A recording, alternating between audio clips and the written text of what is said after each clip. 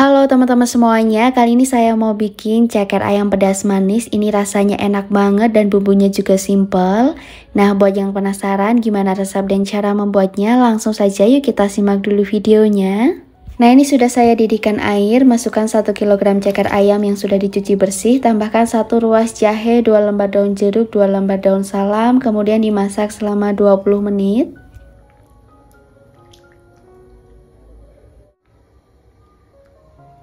Jangan lupa ditutup dulu dengan rapat.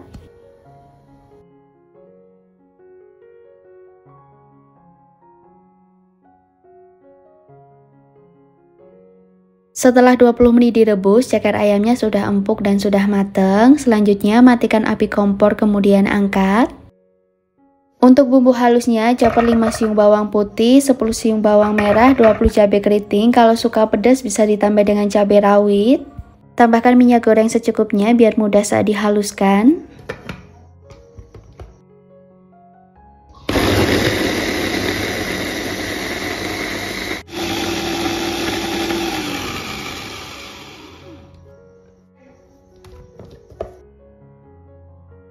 Panaskan sedikit minyak goreng, tumis bumbu yang sudah dihaluskan.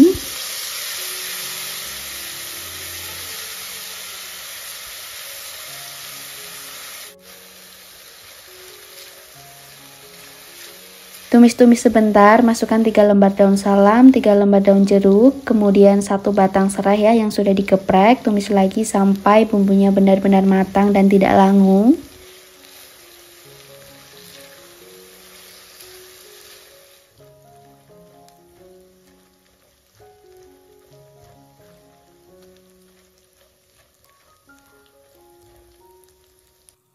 Setelah bumbunya matang, masukkan 3 sendok makan gula merah, masak sampai gulanya larut.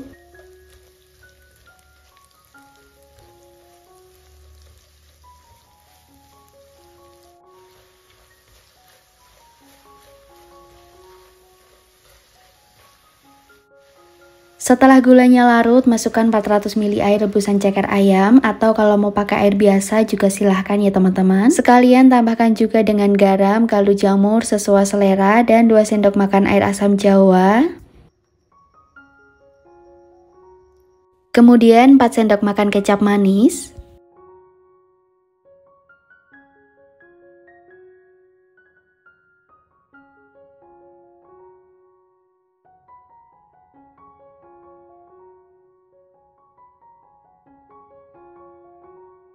Biar makin mantep, tambahkan 1 sendok makan saus tiram. Nah, ini bumbunya sudah selesai, tinggal diicip rasanya udah enak atau belum.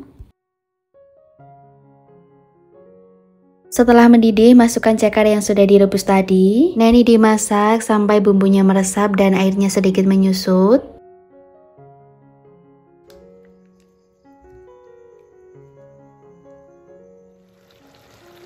Nah ini ceker ayamnya ya. Ini sudah mateng bumbunya sudah benar-benar meresap dan ini kuahnya kental enak banget. Sekarang saya mematikan api kompor dulu kemudian angkat.